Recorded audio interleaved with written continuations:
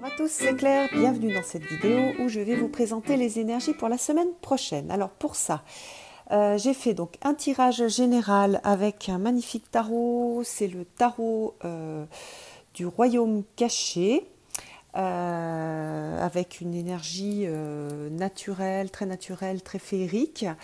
Puis ensuite, j'ai tiré une carte ressource pour, pour chaque signe. Euh, et euh, pour ça, j'ai utilisé un mélange de deux euh, oracles. L'oracle druidique des plantes, voilà, et l'oracle des druides, où là on a des animaux. Donc pour chaque signe, vous aurez un animal ou une plante pour vous soutenir. Et je tirerai donc une petite carte de ce jeu-là pour donner le, chiffre qui vous accompagne et qui va être votre chiffre de synchronicité et, donc qui, peut vous donner des informations si jamais vous remarquez ce chiffre-là euh, dans, votre vie. Hein. ce sera des, petits signes de l'univers. Alors, euh, première carte pour lundi-mardi, on a le 8 d'épée. Alors, le 8 d'épée, dans cette carte-là, on voit une, jeune femme très déterminée, sombre, euh, cachée, avec un corbeau. Euh, et euh, bon, on sent euh, donc le, côté un petit peu challenge de la carte. C'est une carte mentale, hein, puisqu'on est dans, les épées. Donc on est face à des énergies un peu de, de, choses à surmonter, on va dire. donc l'idée, c'est certainement lundi, mardi, il va falloir se dépêtrer de, de situations. Alors soit des situations nouvelles, soit des choses qui traînent et qu'il va falloir régler. Et donc, euh, l'idée, c'est d'évaluer les choses de façon juste euh, pour pouvoir euh, trouver une solution. Et donc, ça demande aussi d'avoir la foi en soi et en l'univers. Donc, on va vous demander, pendant cette période de challenge, de croire en vous, de croire en l'univers, de savoir qu'il y a une solution qui existe et qu'elle va se présenter. Ensuite, euh, pour mercredi, jeudi, vendredi, c'est intéressant parce qu'on a le, le 7 d'épée et là on voit un jeune homme qui regarde le ciel. Il est à la recherche de quelque chose et il scrute en fait les étoiles. On dit aussi qu'il scrute son cœur.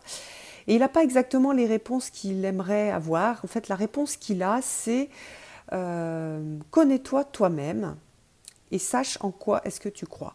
Et à partir du moment où on sait qui on est, où on sait ce, qui nous anime, ce qu'on valorise, alors nos actions sont déterminées par ça. Et peu importe le résultat, ce qui est important, c'est ce que vous allez faire. Alors ça va bien dans la suite de cette carte-là de, difficultés à surmonter, de challenge. Il va falloir se rapprocher de ces valeurs. Et à partir du moment où on est en phase avec les valeurs, ce à quoi on croit, ce qu'on va défendre, on va être juste en fait dans, euh, la résolution de, la difficulté. Alors, euh, c'est vraiment une carte sur les idéaux personnels aussi. Et euh, pour certaines personnes, ça va être aussi de, poser ce qui, est, ce qui est juste. Ça va être de poser ses propres valeurs. Et c'est pas toujours facile quand on est dans un univers où ces valeurs ne sont pas reconnues, où on n'a pas les mêmes valeurs que les autres, où les valeurs sont controversées. Donc, euh, il ne faudra pas du tout s'attarder à ce que vont penser les autres.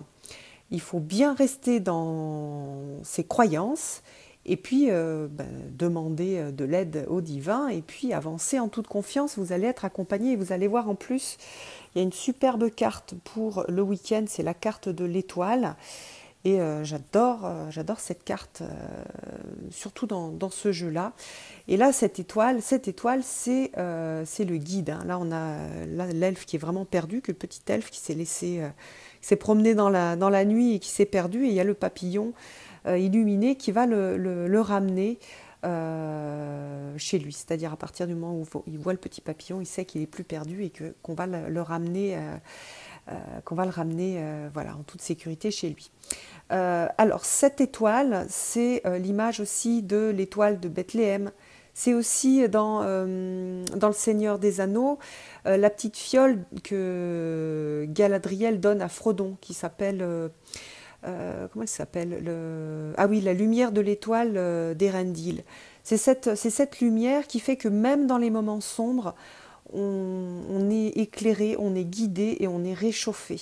Donc euh, c'est encore une carte euh, comme la, semaine dernière, hein, puisqu'on a déjà eu cette carte. C'est vraiment une carte qui va guider, c'est une carte qui va aider, c'est une carte qui va soulager, c'est une carte qui va apporter donc de la magie. Euh, c'est aussi, nous dit l'auteur, les eaux de la guérison qui vont guérir les blessures et qui vont aussi nourrir la foi. Voilà. Donc croyez en votre bonne étoile, appelez-la, demandez-lui de l'aide. Euh, ne restez pas seul. Euh, et puis si jamais euh, vous contactez cette énergie-là, c'est aussi l'énergie des guides, hein, l'étoile. si vous contactez vos guides, ben, profitez de cette chaleur, cette confiance, de, tout cet amour que vous pouvez recevoir et toute cette confiance. Donc cette semaine, elle va être plus, elle va plus nous brasser que la semaine dernière. On est encore sur des énergies de guérison, on voit que ça, continue, mais plutôt des guérisons euh, qui vont se faire par... Euh, ben, il va falloir surmonter un certain nombre de, challenges. Euh, et, on a ici des, images. Hein. Laissez-vous bien porter par ces images parce qu'elles sont extrêmement parlantes, qu'elles vont beaucoup vous aider et vous guider la semaine prochaine. Voilà. Donc c'est des belles énergies malgré tout parce qu'on sent avec l'étoile qu'on a un énorme soutien euh, de, nos guides, de nos. Alors peu importe les, croyances, peu importe le nom qu'on va leur donner, on va être euh, beaucoup soutenu et ça va permettre d'épurer pas mal de choses. Donc ça c'est vraiment une, une, belle semaine. Alors ensuite, on va regarder par signe. Alors, premier signe, le bélier. Je vais je vais déplacer un petit peu les cartes. Voilà. Hop, on va refaire la netteté. Alors, le bélier, lui, il a un animal qui va l'accompagner. Et puis, je vais tirer son chiffre. Et il a le chiffre. Euh, alors, est-ce que je l'ai mis dans le bon sens? C'est le 6 ou le 9 Oui, c'est le 6. Donc, euh, son chiffre, ce sera le, le 6. Alors, qu'est-ce que, l'ours apporte? Alors, l'ours, euh, il est très intéressant parce qu'il apporte de la force. C'est vraiment la force basique, la force de l'intérieur. C'est aussi la souveraineté, le fait de, euh, gérer sa vie. C'est-à-dire, c'est pas parce qu'on est guidé par la lumière, par le divin, etc., qu'on n'est n'a pas la pleine maîtrise de sa vie. D'ailleurs, dans la deuxième carte euh, du tirage général, on a aussi le fait de, prendre, en, prendre en main sa vie. C'est aussi une carte d'intuition, une carte d'instinct, donc suivez bien votre instinct et tout, va bien se passer euh, pour vous euh, les béliers.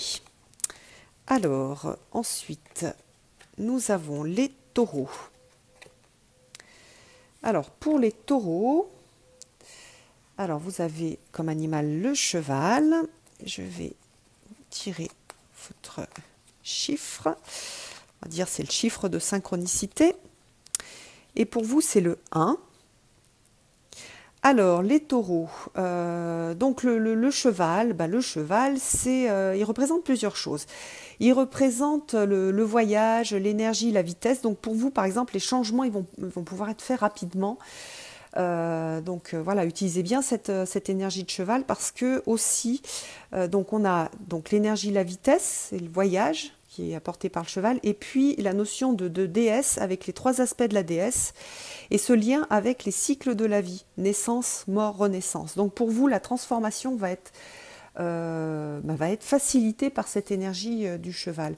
Je vous invite d'ailleurs, quand ce sont des animaux ou des plantes que vous connaissez, à vous en rapprocher. C'est des plantes à faire éventuellement une tisane, si c'est un animal, à vous rapprocher de, ces animaux-là euh, lorsqu'ils sont faciles à, à contacter.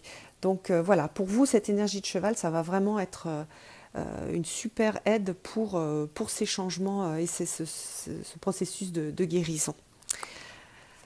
Alors, ensuite, nous avons les Gémeaux. Alors, les Gémeaux, vous, avez une plante. Alors, une plante qui est très commune. En France, c'est très facile de, la trouver. Elle est souvent vue comme une, une mauvaise herbe. C'est le plantain. Votre chiffre, c'est le 2. Euh, alors, le plantain. Donc, le plantain, c'est euh, une plante qui est, super, que j'adore, moi, que j'ai beaucoup utilisé pour les enfants, parce qu'on peut frotter en fait la, feuille sur, par exemple, une petite piqûre de, moustique pour apaiser. Euh, et donc c'est une, une, plante qui amène de l'assurance, du calme, une capacité d'adaptation. Alors ça tombe super bien. Euh, parce que euh, bah, parce qu'on va bien en avoir besoin cette semaine. Et donc pour vous, ça va être euh, une, vraie, une vraie aide. et vous allez, vous allez avoir la possibilité de, capter ces énergies de, plantain et de calme pour, bah, pour effectuer tous ces changements et tout ce, processus de, de guérison. Alors ensuite, nous avons les cancers. Ah, les cancers, vous avez un animal qui va vous accompagner, c'est le cygne. Alors, le chiffre, petit chiffre magique de synchronicité, c'est le 6. Alors, euh, le cygne. Euh, le cygne, alors lui, euh, le cygne, c'est l'âme en fait, c'est l'amour, c'est la beauté. C'est un animal qui, apporte cette, ce, comment dire, ce lien avec le cœur, et donc le cœur euh, au sens, euh, comment dire, euh, avec un grand C, cette capacité à se lier à l'âme. Donc vous, vous allez avoir une façon de traverser cette semaine de façon beaucoup plus mystique, euh, beaucoup plus, euh, vous êtes beaucoup plus sur le, comment dire, le lien euh, avec votre âme, avec votre chemin de vie, avec, donc vous allez vraiment vous, si jamais par exemple vous aviez dévié un petit peu de votre chemin de vie, votre âme va beaucoup vous aider, cette énergie de signe, cette énergie de, beauté, de beauté de la vie va vous accompagner. C'est aussi parce que vous allez peut-être savoir reconnaître votre chemin par le fait que vous allez voir que ce nouveau chemin, cette nouvelle façon de faire, tous ces changements, ils vont vers plus de beauté. Ça, ça va vous, motiver, ça va vous aider, ça va vous entourer. Donc entourez-vous de beauté et pensez bien à ce mot-clé de la beauté. Euh, même si euh, il y a des moments où ça sera sombre, euh, sachez reconnaître, reconnaître les, les, petits, les petits signes de beauté que la vie va vous donner. Alors, ensuite, nous avons le lion avec une plante et euh, un chiffre que je vais tirer tout de suite qui est le 3. Alors, euh, pour vous, les lions, euh, vous avez la bétoine. alors, c'est une, carte qui va apaiser toutes les discordes, toutes les disputes, qui dissipe la négativité et qui protège. Euh, ça veut dire qu'il y a peut-être des moyens de le faire différemment, de faire les choses différemment euh, en rentrant dans le conflit. Pour vous, pour les, enfin, les, changements qui vont s'opérer, les challenges euh, qui vont, qui vont se, présenter dans, pendant cette semaine, vous allez avoir à les relever, mais peut-être pas forcément d'une façon, comment dire, de rentre dedans, mais plutôt d'une façon plus douce, plus euh, plus positive, puisqu'on va avoir cette euh, bétoine qui va vous aider à dissiper tout ce, tout ce négatif qu'il y a autour de vous et qui va, euh, et qui va vous protéger. Alors ensuite, la Vierge. La Vierge a une plante qui est la, la camomille. Alors, alors pour cette plante-là, c'est bien parce que pour vous les Vierges, vous allez pouvoir boire de, la camomille, du pisse-mémé, comme disent mes copains qui boivent du café. Euh, alors, votre chiffre de synchronicité, Vierge, c'est le 4. Et donc, votre plante, euh, bah, c'est la camomille. Alors, la camomille, c'est quoi? C'est une plante de repos, c'est une plante qui va calmer. Euh, c'est aussi une plante qui prend en charge euh, qui, accompagne, euh, le mot-clé c'est tutelle, qui met sous tutelle et qui permet aussi la régénération. C'est une plante qui est vraiment géniale dans cette, pour, pour, accompagner en fait dans, les changements et dans, les, moments difficiles.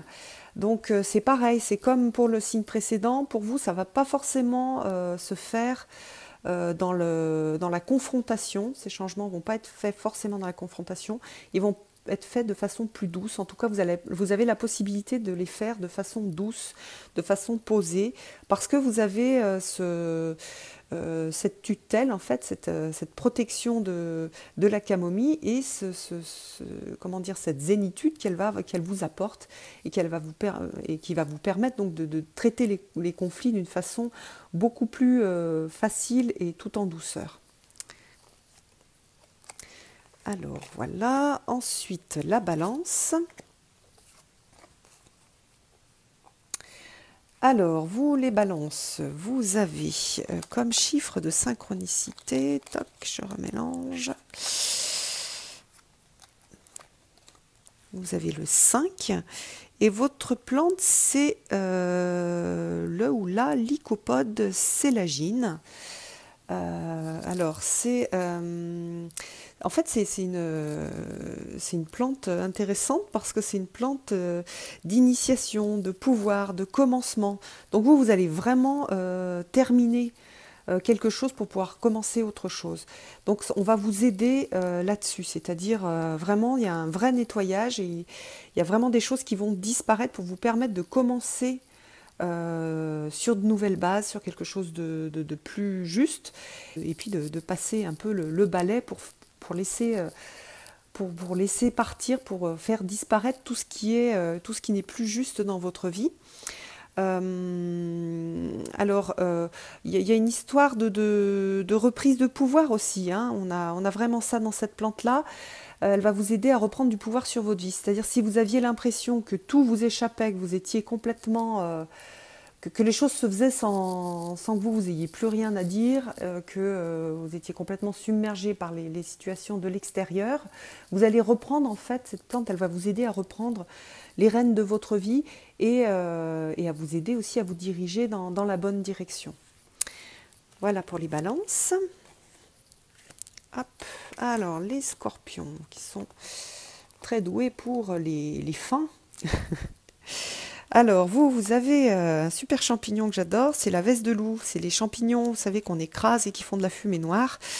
Euh, quand ils sont vieux, on peut aussi euh, les utiliser en salade quand ce sont des, jeunes pousses. Votre chiffre, c'est le 7.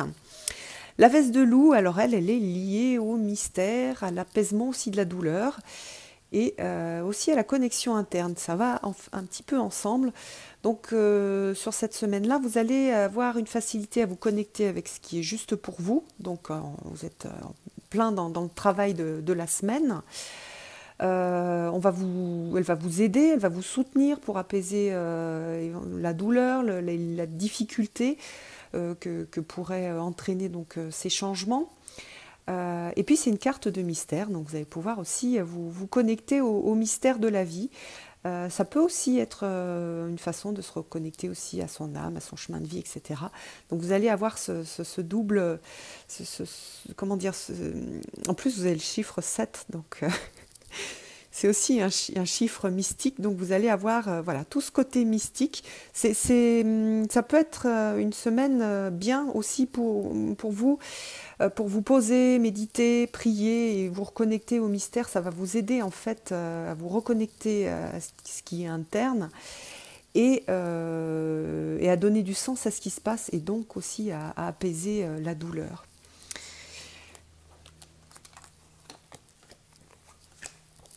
Alors, le Sagittaire. Oups.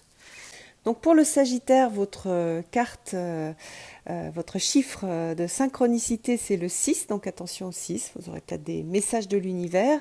Et puis vous avez un animal un peu étrange qui est le dragon de la Terre. Alors c'est pas un, animal, euh, on va dire, incarné, mais c'est, ou en tout cas c'est pas un animal que l'on peut voir, mais il représente en fait toutes les énergies terrestres de la Terre. Donc c'est l'équivalent des deniers en, en tarot, c'est aussi donc l'élémentaire hein, dans, les quatre éléments.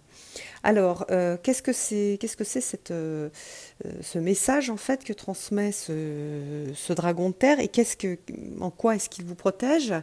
Alors en fait, c'est un animal qui va vous donner du pouvoir, qui va vous aider à révéler votre potentiel et puis, ben, par exemple, à protéger vos richesses, que ce soit des richesses en monnaie en monnaie ou que ce soit beaucoup plus probablement tout, tout, ce qui fait votre richesse.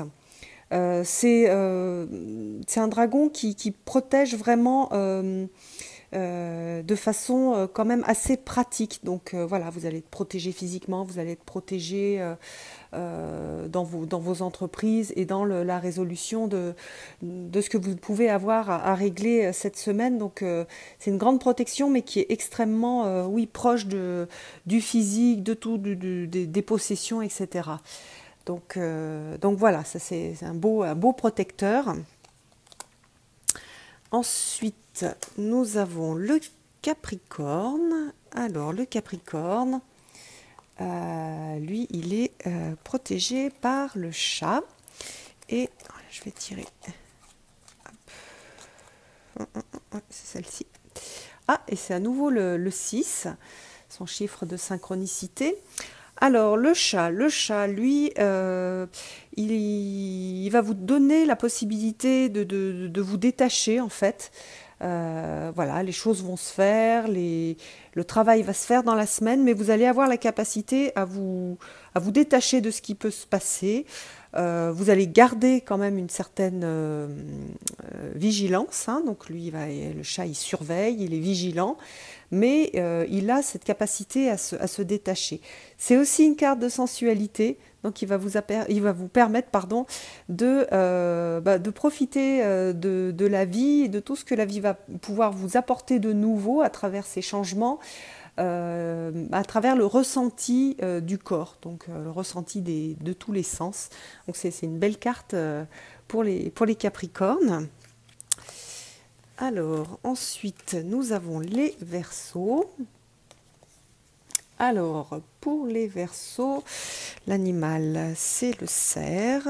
Et puis, le chiffre, c'est le, le 6 encore. C'est incroyable.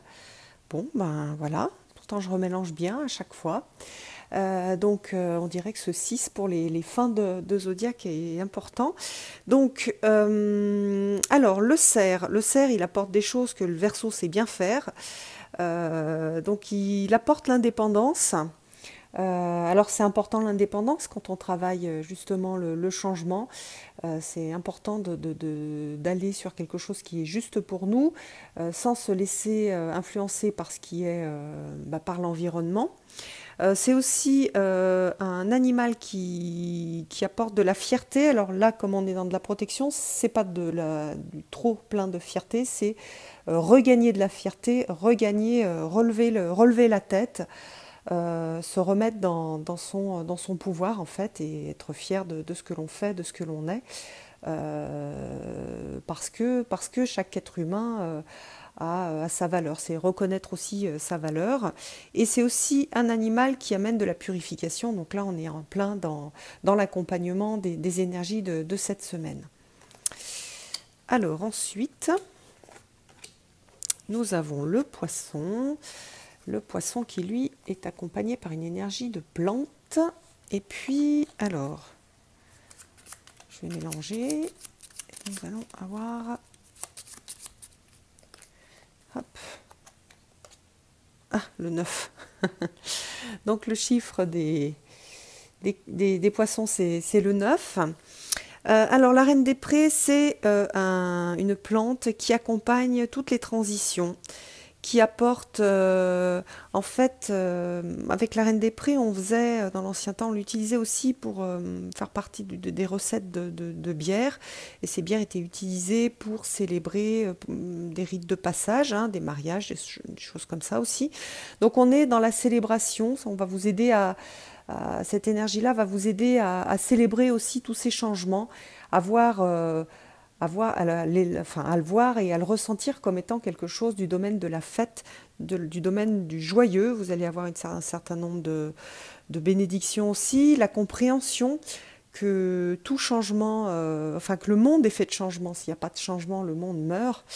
Euh, donc c'est vraiment une, très très belle plante pour accompagner euh, tous ces changements de, la semaine prochaine.